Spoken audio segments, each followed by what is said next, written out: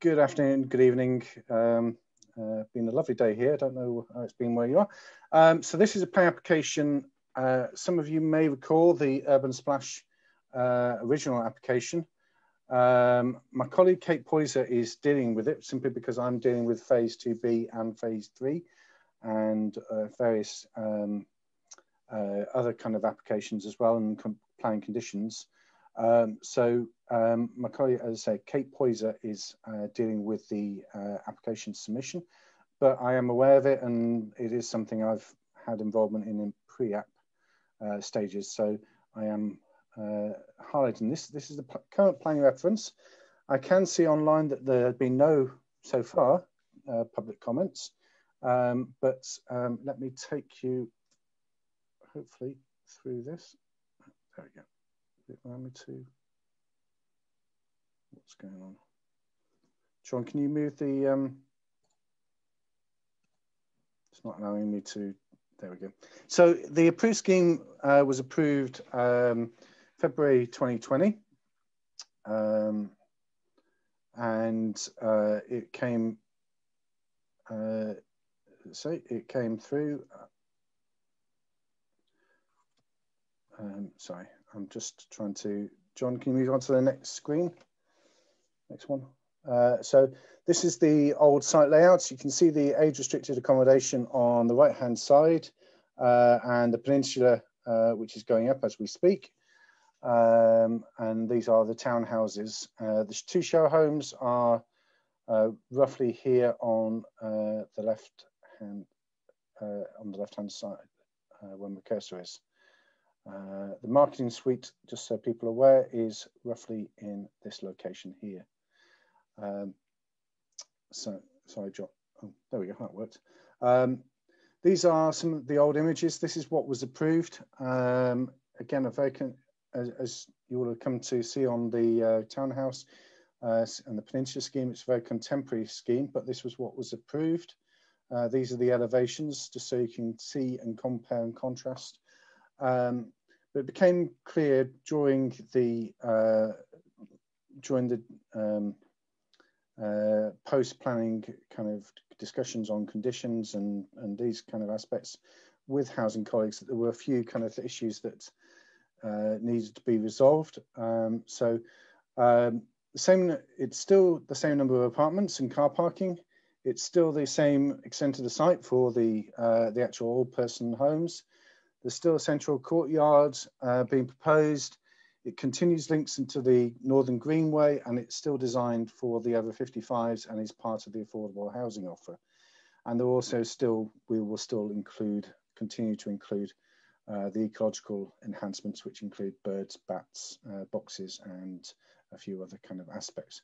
So it looks a bit different to uh, what it did. Uh, so you can see that the the car parking, which was previously undercroft and under the building, is now um, a surface level car park. We've introduced a, uh, the cycle uh, parking has moved from around about this location to here, and a walled garden has been uh, introduced for this will be for residents. Um, and this is the central courtyard, which you can see is flipped through 90 degrees uh, and um, various other kind of smaller kind of things. So this is what it will look like now. These are all the plans that are on the uh, website. So if you're wondering what all these red lines uh, mean, they are generally uh, relating to details um, relating to what materials are going to be used and uh, and uh, what colours and, and, materials are being proposed. Um, you can see here there are two um, uh, covered um, terraces and an open terrace. Um, uh, and this is these this kind of uh, hazy uh, is a is a green wall. Um, I'll come to some better images of that in terms of what they uh, look like. This is obviously two dimensional, three dimensional, trying to be two dimensional, and sometimes that can be quite tricky. Um, uh, and this will be the primary entrance uh, with housing colleague with communal facilities uh, in on the ground floor, uh, and the walled garden uh, is is here. Um, so this is a kind of a 3D image of, of the actual proposal. So again, a communal terrace uh, being proposed, covered uh, area here, and again, a kind of a covered area here. I, I lovingly call this, this, this area here the gin terrace. Um, I'm not saying people are out there drinking gin in the summer, but it overlooks the, the lakes and the schools and has some fantastic views across that. So um, uh, you know, I think that would be a very interesting space uh, for those. You can see here that there's still, uh, these are uh, solar panels and PV um, uh, solar panels. Um, so we're using solar um, aspects. Uh, there's the cycle store. And again, there's a, an element of disabled parking and also electric charging being proposed within the car parking. And as you can see here, it's still 60 apartments. Um, M43 uh, just means it's highly, it, it's more accessible. Uh, M42 is the is the standard um, approach to house building. M43 just means it's more uh, accessible for disabled persons. Um, so again, a, uh, an important part of that. Um, internally, the courtyard has uh, some interesting elements. Um, so as well as obviously having the communal areas, um, each uh, apartment will have a porch, uh, and you can see here from the diagrams that uh, people will be able to sit out on the front uh, just to have a look at, uh, and, and, if they don't want to venture out too far from their flat, they, but want some fresh air, they can sit down at the, at the front uh, of their apartment. Um, and this again is, there's some arrows here just detailing um, what materials are being proposed. Um, as I say, it's, these are all images that are publicly available on the website uh, and you're able to, uh, to view these uh, if you want. Uh, this is the CGI image of, of the proposal. Uh, as I say, it looks uh, quite interesting. Um, and say the, um, the walled garden for the residents there being shown there and the courtyards, the gin terrace as I call it, as I say, and uh, the various other kind of uh, courtyards um, proposed. The entrance is here.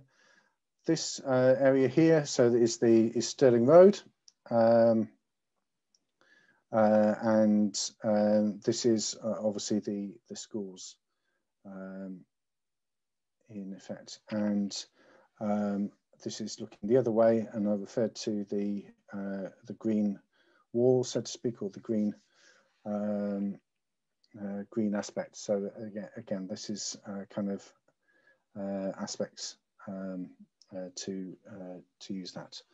Um, in, and again, some of the gardens on the ground floor will also have outdoor patio areas along those kind of lines. Um, there are more images, as I say, in the design and access statement, but so if you want to have a, a look at these kind of aspects in more detail, then please feel free. Um, and so it will go to plan committee because we are the delivery partner and it's part of the affordable housing offer.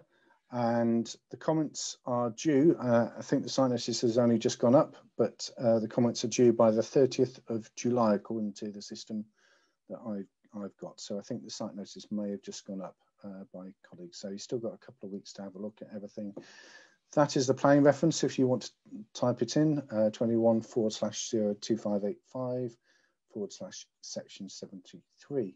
Now there are other plans on there and some of those relate to the fact that what we are varying is the plans list condition and so some of the plans there needed to be duplication of, of those plans. Um, I think that that's it. I'll, I'll happily take um, any questions? I can see a couple have come in. Sarah? Yes, they have. So um, one is asking um, why do some flats get a garden and some don't? Uh, generally, the, most have uh, most of the flats will have uh, private amenity space. Um, it's just, as I say, it's how it's designed. Uh, obviously, the upper floors will have different to the ones on the ground floor. Um, but that has been part of the discussion as to the quality of the space and, and, and those kind of aspects. Um, but yes, that has um, uh, that is one of the reason why basically it's a design aspect. But also these come from the factory as well, so it's not a case of these are modular built, so they're very environmentally uh, insulated. Okay, um, and then a question on uh, making use of the rooftop gardens, um, rooftops rather to have gardens or for eco reasons, so either solar panel or to provide habitats and carbon offsetting, including plants. Yeah, so there are, uh, as I showed on the uh, on the layout on on the 3D, and if I go over, don't know whether I can go up, um, but on the previous slide, um, you could see there there were loads of solar panels on the roofs, and that again is part of it. Uh, and by building in, um, so there you go, you'd see solar these the solar panels. Um, so there are very few free uh, roof spaces, so to speak.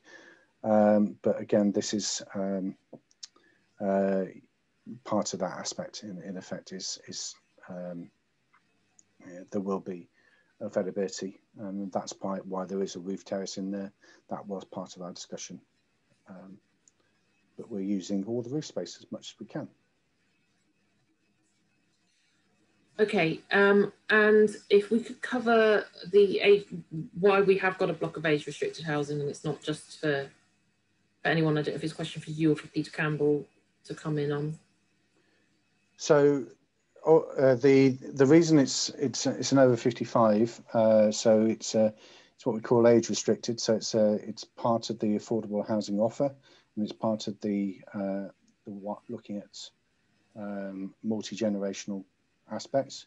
But obviously, the rest of there will be flats and houses as part of the rest of the urban splash um, as well. So it's not just about this is designed specifically for uh, persons over age over 55 who might want to downsize from their houses. Uh, and it's designed to be, as, as I say, a, a, linked community in itself. Um, so that's that's why um, there. Thank you. Um, and uh, a question uh, from Dan, the chair of Longstanton Parish Council, uh, noting that in part of the submission there's revised copies of many of the original statements in respect of ecology, surface and foul water, can you talk about the key changes in these areas, especially anything to do with the ongoing hydrology investigation? So obviously, uh, in respect of uh, the the changes, is it's basically uh, making sure that the uh, there's no changes to the bat and bird boxes provision. There will still be those in, in there. So it's basically making sure those are all provided. So the ecology benefits are continued. Uh, there's no significant changes in to uh, to those. What we just needed to do is uh, is as part of the that of the submission is is have all that data that we had and all those supporting documents updated to reflect uh, that when we talk about the revised design that we talk about uh, that the most the right design and the right plans so all the plan references will be updated uh, and for example where there's been a change in story heights um, then that that's been done. You will also see there have been obviously new tree planting as well, so those will have been factored into ecology uh, aspects, and obviously also the green wall. Um, so that's that's what we've done. Is in effect. Okay, great, thank you. Um, so I think. Um, oh, there's a, another question. Is there scope for the development to be extended in the future? Uh, no, this is a per, uh, this purpose built. So unless uh, I'm not aware there's any scope for it to be extended in the future, but um, as I say, um, it is a modular build. Uh, so uh, that will be down to um, uh, those those aspects. Yeah. So just to say that um, phase two has effectively been been parcelled up. So this is part of the urban splash parcel um, and obviously we've got Keepmoat, which is the next parcel, and there will be additional ones coming coming uh, on. So there will be there are delineated areas of which there is one. Um, how many parking spaces are there? Uh, same as originally. Um, I'll just double check. I think you put fifty percent in. Did you? I think I saw. Yeah, it's 30, 30 car parking spaces. So one for every other uh, property.